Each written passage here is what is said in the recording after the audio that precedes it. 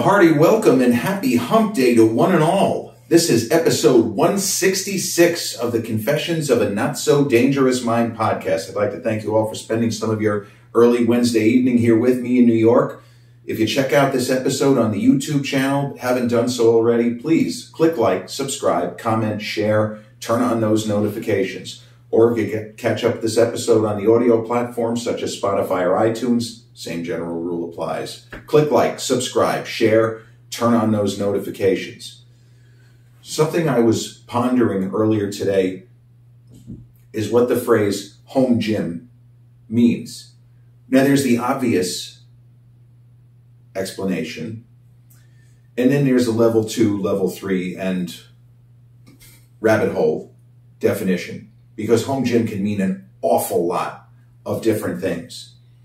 Now, I know for myself, I never seriously considered getting a home gym. Once I joined Bev's in 1993 as a 19 year old, there really wasn't any reason to have anything at home. Even on the rare occasions where there was a weather issue, you know, I couldn't make the gym because of a snowstorm or a hurricane or something like that, or a kind of a unexpected event would take place where maybe if I had something at home, I could I could do an hour, but I wouldn't have time for a you know 40 minute round trip. Through all the years, despite moments where there were days I couldn't get there, damn it, I wish I had something. I never seriously was going to take the plunge and make purchases. And then COVID happened. And I guess you could say that my hand was forced. Now, there were plenty of people who were aggravated and, in some cases, uptight, scared, nervous. Nobody really knew what was going to happen. But I immediately ordered stuff right off the bat. I ordered a lightweight elliptical. I ordered kind of shitty adjustable dumbbells, $75. They went from like five to 22 and a half, and a, a decent adjustable bench. Now, when you say home gym, that's level one. That's level one. And so, what I was thinking about earlier today,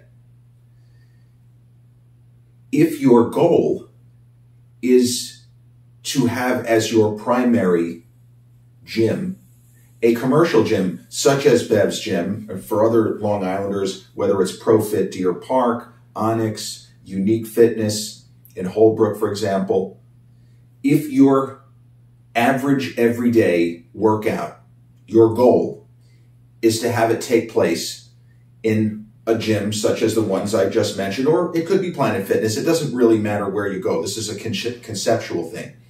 If that's your goal, then you don't need to spend very much money. I would argue if what I just said is what you want to do every day or almost every day, excepting the rare times where you can't go to the gym because of the time pressure and it's okay, I've got an hour and thank goodness I have stuff here. If that's your process, you don't need to go past level one. You simply need some kind of, again, if you could have a chinning bar or whatever, you could do that, but you need some even really super light dumbbells something to give yourself a pump if you're going to do chest, for example, you know, could do very slow reps. There's ways to work around every issue. Again, we're talking about one day here, one day there. Or it could just be that it's a day you wanted to knock off 40 minutes of cardio. Hence, you know, the $100 elliptical like I purchased at the beginning of COVID, which still works as if it's brand new. Single greatest purchase I have ever made from Amazon. The Sunny Health and Fitness Airwalker Elliptical. $105 all in ordered on March 13th, 2020, arrived on March 15th. 35 pounds, easy to assemble, etc., etc. But the idea is if you're going to only really need or plan to use a home gym once or twice a month, you don't have to go above level one. Now, I understand if, for example, you're an individual who has what my mom used to call unlimited funds. If you have unlimited funds, if you're okay with the idea of dropping 10,000, 15,000 on a home gym that you're really not going to use except on rare occasions, far be it from me. But in this instance, I'm speaking to um, somebody who has a budget and uh, maybe has a big mortgage payment, whatever it might be, where they're they're planning out everything they're going to do. If you're only going to use it once or twice a month, if that's the plan, you don't have to spend much more than two to three hundred dollars. Think about it. That elliptical was 105 all in, and you could probably get it for 95 or 100 now. The price hasn't gone up. Those kind of crappy dumbbells were 75 and the bench was 80. So you do the math. I put together a functional, temporary home setup with everything I needed for the short term for under $300. Because if you think about it, and especially when you're somebody like me, I just bought a house, you, you throw these crazy numbers around, you 10,000 for this and 20,000 for this. But at the kind of street level, for example, if your membership at a gym such as Bev's, let's say it's $500 a year. Now, that is a phenomenal deal, if you ask me, for what a gym like Bev's can provide. And in that case, that they're open so many hours, and in our other gyms like ProFit, uh, I'm not sure if ProFit is 24-7 or 24-5, but even Planet Fitness uh, advertises the 24-5 format where they'll be open, you know, midnight Sunday, meaning Monday, and they'll go straight through until Friday at midnight. Point is, you're getting significant bang for the buck, regardless of which gym. You're getting tremendous uh, leverage bang for the buck. So when you think of, I'm not going to use my home gym that often, it's a fair question. It's not meant to be insulting because as everybody knows, money doesn't grow on trees. And if you're not going to use something religiously, that if it's there, break glass in case of emergency, you're not hurting yourself. You're helping yourself to have anything, honestly, and especially something as light as that particular elliptical or others of its class that are between 30 and 40 pounds and are still sturdy. It's true they're not going to give you the same workout as a Jacob's ladder or a gym grade pro fitness um, or Precor or Proform or um, what's the other one? Octagon? Oh, Octane, I'm sorry. It's not going to give you the same hit. But for a day here, a day there, you work hard for 40 minutes to an hour, you're getting a good workout regardless. So, so that's level one.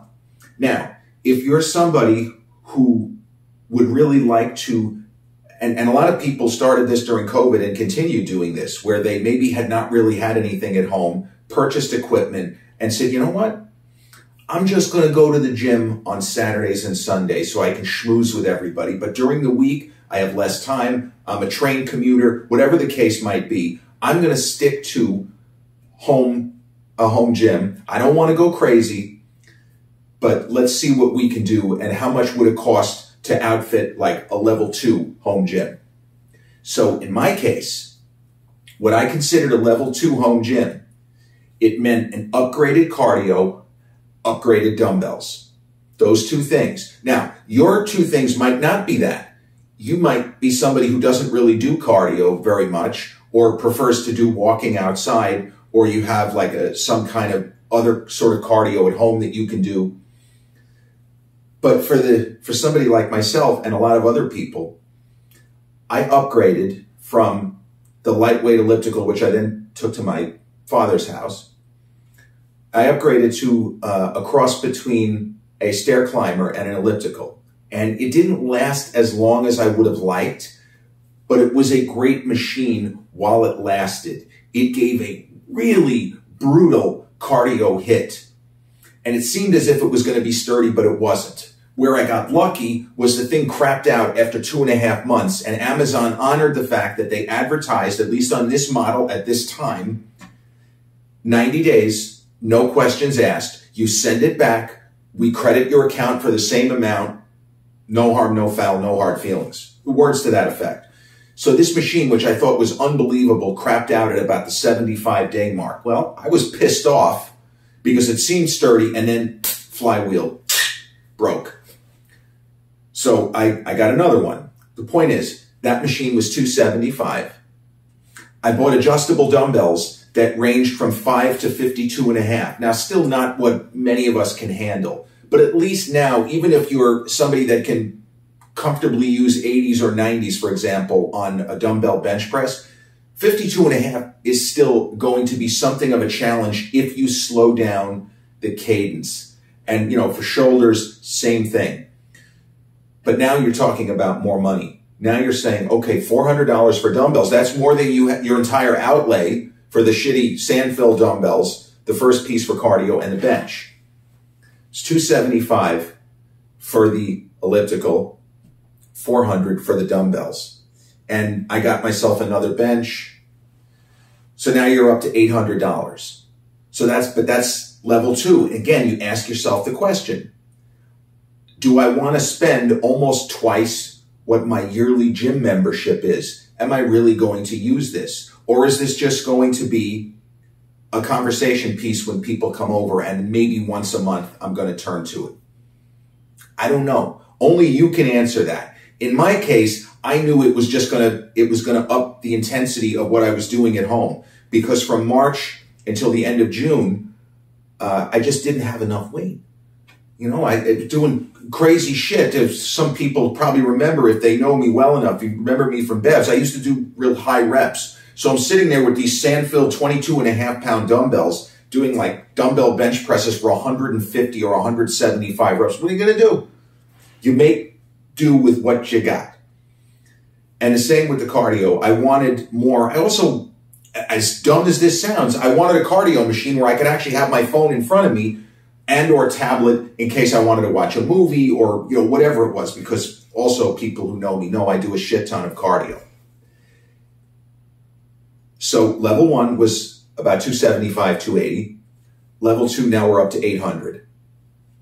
Now I didn't join any gyms until, oddly enough, 2023. I went to gyms when I was on vacation. I visited my mom several times. Um, through 2023. And I usually went to uh, 24 hour fitness. Um, it used to be called Shack Sport. It's one of those, um, one of those gyms. I think it's just called 24 hour fitness. But, but either way, it's, it's not really even 24. They advertise 24 seven. It's not, it's not. They're full of shit. Uh, but I would go there for a week here, a week there, but I didn't join any other gyms. So in my case, if you have the money, it's different to say, okay, here's what I'm willing to spend. Because I, I have a friend, and this is why I, I urge you to think this through. He was freaking out worse than me when, uh, not just Bevs, but when all the gyms shut down. And he said, you know, what are, what are you doing? And I told him, this is like March 16th, whenever the day was, um, I already ordered stuff and I told him what I got. And he's like, okay, well, at least we know we can get it he said, I'm, I'm going to, I'm going to buy like real gym level equipment. So he bought a Life Fitness treadmill, the same model that we had at Bev's Gyms, probably 7,000. Some crazy amount. He bought the most expensive adjustable dumbbells he could find. He bought the sturdiest adjustable bench. Again, a gym quality commercial grade adjustable bench with these dumbbells. And then he bought a couple of other pieces he's told me he spent at least $12,000. And he had a, you know, had a basement, so he had it all set up down there. The guys came in and did. He was okay paying extra. And he, he thanked me, you know, you gave me so many great ideas. Uh, you, you motivated me to do this. I was freaking out. I forgot because I've never ordered any exercise equipment back and forth, back and forth. So we were talking on the phone every day through March when he completed his home gym. Hey, let me know if you want to come over and work out. Oh, sure. Then he disappeared didn't answer text messages. He just, in the immortal words of Warden Norton in Shawshank Redemption, man up and vanished like a fart in the wind. He just disappeared. So uh, when I reached level two, my $800 outlay, oh, and I should point out that I, I sold the first bench. Uh, I didn't sell the dumbbells. Nobody really wanted the sand-filled dumbbells. There's, they still exist somewhere out there in the universe. Uh, but there's nothing wrong with doing that. It's okay to make 50 bucks if you're going to spend a hundred on something. There's no crime in it. You're you're perfectly okay. It's not that you're being chintzy or nickel and diming. You don't need it anymore. So you defray the other cost. So right around the time that I completed phase two, and I was excited because the cardio was turbocharged. It was easier for me to use my phone and manipulate in case, for example, a phone rang. Oh, it's right here. We just, no problem. So sometime early July 2020, this guy calls me up and we talk for about 10 minutes. We don't mention the gym. I've moved to Florida. I'm doing great. I'm in Vero Beach. I see your old training partner down here, back and forth, back and forth. Then there's a pause in the conversation. And he says, Gotta tell you something, Jer. Are you sick? Are you okay? He said, No, no, no, no, nothing like that. All that stuff that I bought, the $12,000, it was probably more that I laid out for the home gym. Yeah. I never use it. I got it here with me in Florida. I never use it. Well, are you going to the gym? No, I haven't opened it yet. That's what I worry. Just paying for something if you don't if you don't think that you have the motivation or if you're going to need somebody to motivate you. See, this is where trainers are good. Even somebody that you would be communicating with via Zoom. If you need if you're the kind of person who does really want to work out but lacks that 100% guaranteed I'm working out today level of being able to motivate yourself, better hire someone else than not work out at all. That is a lot of money to not use. I don't care who you are. That is a lot of money. 12, 13 grand. It's a lot. So eventually, I continued to make adjustments. I swapped out one pair of adjustable dumbbells for a slightly better model that went from 11 pounds to 71 and a half. And I got um, cast iron 80 pound dumbbells. I upgraded the cardio again to a $600 machine, which was really amazing for $600. It was almost gym quality. It was 16 levels, uh, very, very smooth, made hardly any noise. It lasted almost a year. Uh, I can't even imagine how many hours I put on it. I got at least three years of normal use, if not four or five years of normal use out of it before. Stop me if you heard this before. Flywheel meltdown. The flywheel snapped done. And obviously it was past the warranty, but I felt that was money well spent. But put it through the mental meat grinder. If your yearly gym membership is $400, $500, Planet Fitness, $10 a month, ask yourself the question. Not like Dirty Harry, you got to ask yourself a question. Do I feel lucky? Do you think that spending as much as $600 on a piece of cardio equipment, is that a good purchase? Only you can answer that because we've seen um, like Bowflex makes commercial level cardio equipment for two, three thousand bucks. And he, for example, Octane Fitness here uh, at the clubhouse, which I use every morning, it's seven, eight thousand dollars if you want to buy it for your home gym. And I know some people don't have to sweat that, but man, that's a lot of fucking money, especially because a five hundred dollar model could probably give you the same workout might not have the same predicted reliability, but sometimes it's a matter of how skilled are you in the construction.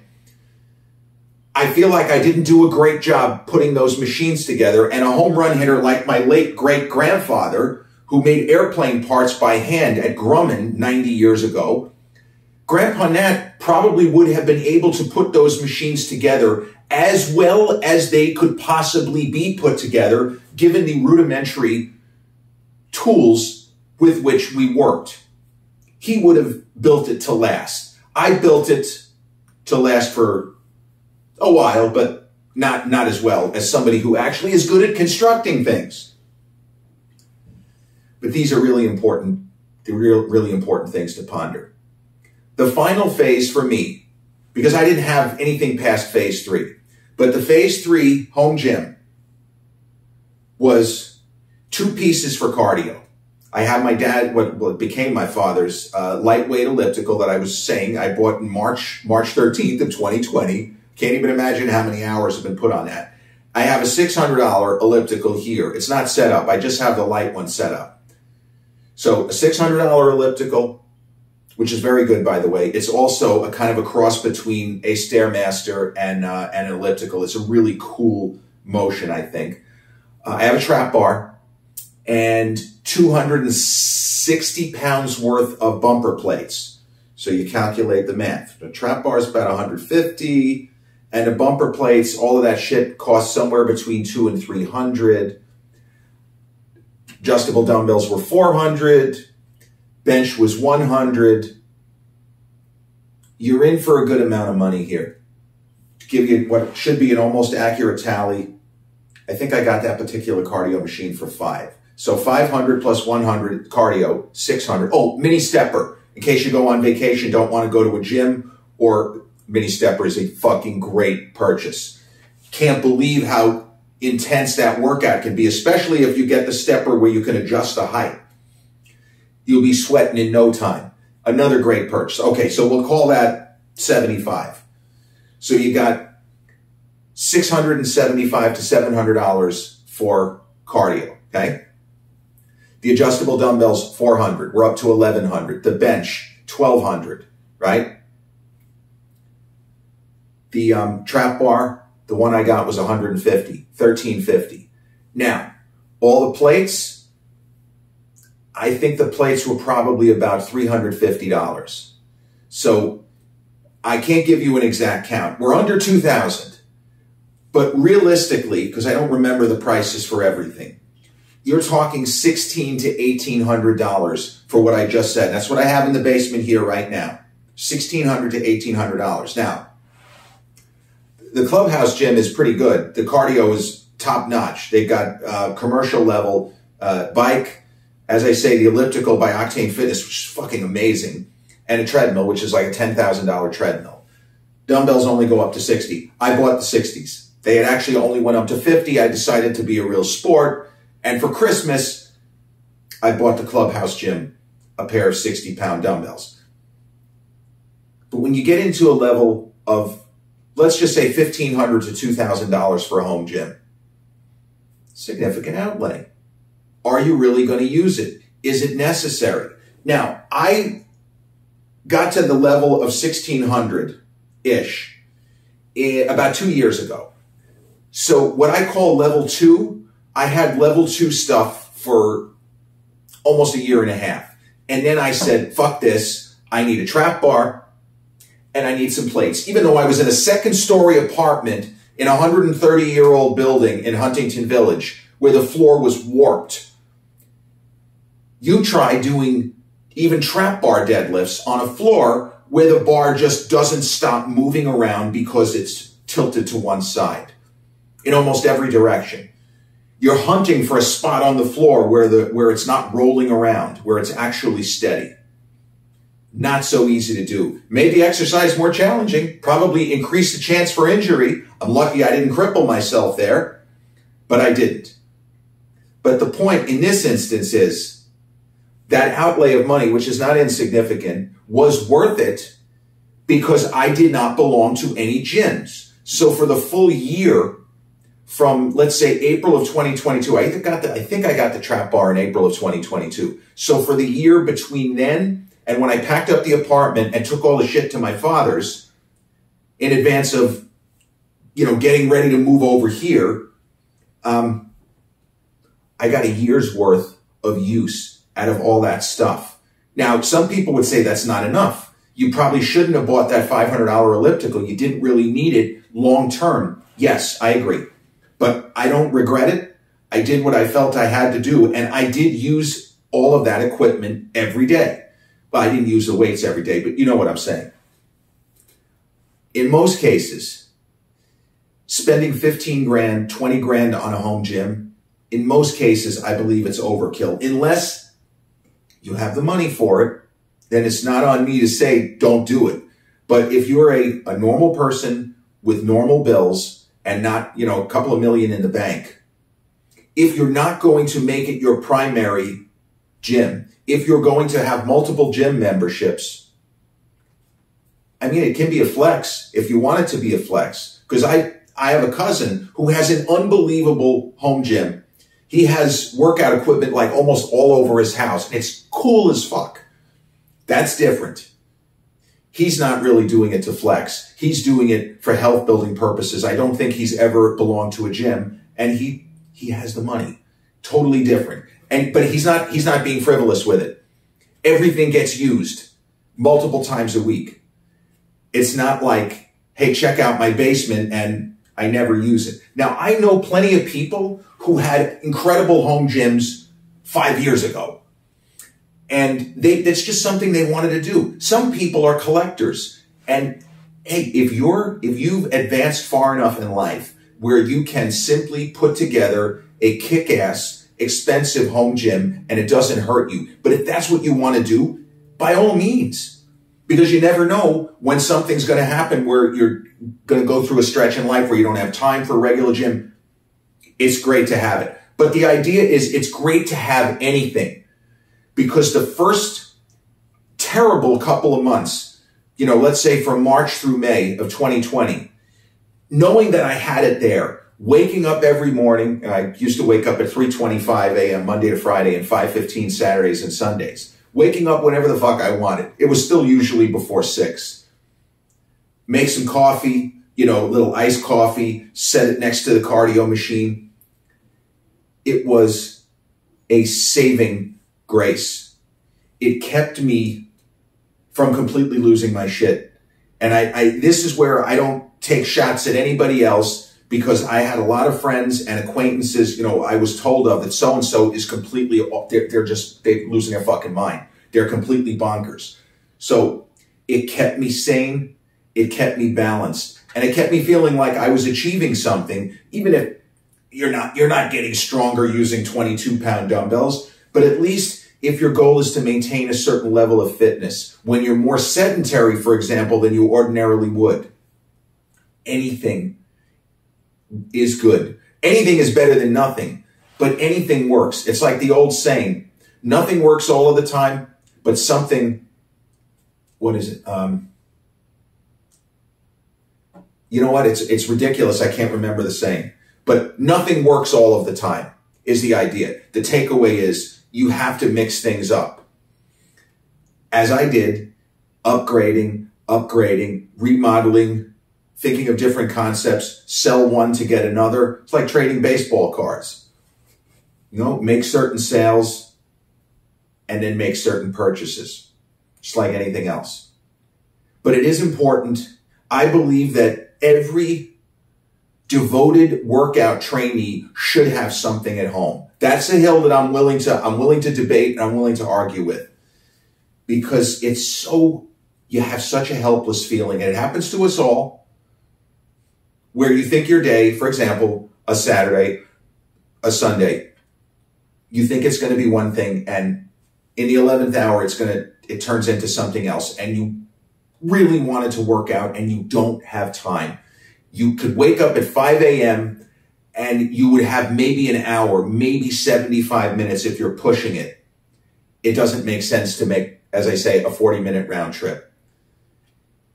If you know you have whatever it is, whether it's in a basement or whether it's in a game room, it doesn't matter. I'm telling you this, the best part other than having it is the comfort of knowing you have it. It's something that can't be, it can't really be explained until you wake up and you're like, hey, it's okay that my day just seemingly got cocked up because I'm good. I don't have to get into the car and try to blow traffic lights so that I can get in my 40 minutes. I'm going to go downstairs. I'm going to do it right here. The convenience factor, that's really the best thing about it. It's so obvious, but it's what it is the convenience factor, the fun of not having to travel anywhere, of literally rolling out of bed no matter how crappy you look. You can work out in pajamas and a torn t-shirt. Nobody cares. It's just you and the iron, whether the iron is actual weights or the cardio machine. Is it in you? Are you motivated? Can you motivate yourself or do you need an audience of a gym? Hey, not everybody has the ability to reach that level is, I guess, not something that can really be taught. But most people I know who take this as seriously as I do or more seriously, they have that ability to never leave anything on the table. If they say, I'm going to do nine, a 90 minute sprint on the stationary bike, that's exactly what they do. So you're, you know your level of motivation. Do you need assistance? Do you need a lot of equipment? Do you just need functional? Level one, level two, level three. As I say, I never got to level four. Level four are the people I know who have 15 plus thousand dollar home gyms. I never got to that. And honestly, for myself, I don't think that I ever would, especially because I'm here for the foreseeable future. And they probably sank about twenty, twenty-five thousand dollars into that gym. So I guess that's even though the dumbbells only go up to 60, that's my version of having an expensive home gym, even though it's not here at home. But I have access to it for whatever that's worth. But home gyms, home gyms to me are a necessity. There's no shame. You know, oh, I belong to a gym. Get something small. Something just so on those terrible days, because we're all so obsessed with this. I know drives us crazy when shit goes wrong. The average non-workout person can't possibly understand what it's like. But just to know you have it when you need it break glass in case of emergency. Level one, level two, level three, or level four. People who have home gyms know exactly what I'm talking about. And many of them can tell you stories. You probably have friends, how great it is. And oh yeah, I didn't start off spending a ton. You slowly add, you slowly accumulate. And I know people, an old friend I went to school with, never went back to a commercial gym. He just made continued adjustments to his own. You don't have to do that. You can be like me. You can split it up. You can do certain workouts at home, certain workouts in the gym. You can just make it, I'm going to go to the gym on Saturdays and Sundays when I have more time, get the best possible workout in a community atmosphere. Doesn't matter. This is a Planet Fitness kind of a thing. This is a judgment free zone. I can just give advice and give you my opinion here home gyms are critical for the mind, for our mental health. I found that to be the case. Just know. Yes. Wake up, roll out of bed, rock and roll. This has been episode 166 of the Confessions of a Not So Dangerous Mind podcast. I'd like to thank you all for spending some of your Wednesday evening here with me in New York. If you check out this episode on the YouTube channel, haven't done so already, please click like, subscribe, comment, share, turn on those notifications. Or if you checked out this episode on the audio platforms such as Spotify or iTunes, same general rule applies. Click like, subscribe, share, turn on those notifications. I'll be back with episode 167 real, real soon. Until then,